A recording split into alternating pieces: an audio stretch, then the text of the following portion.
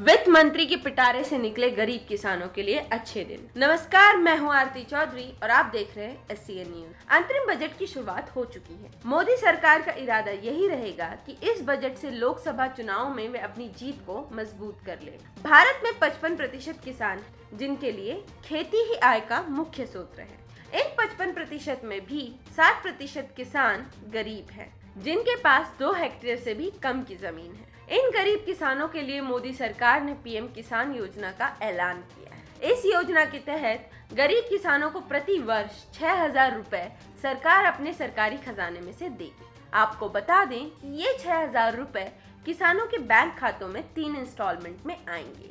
यानी दो दो हज़ार रूपए तीन बार में हर साल दिए जाएँगे।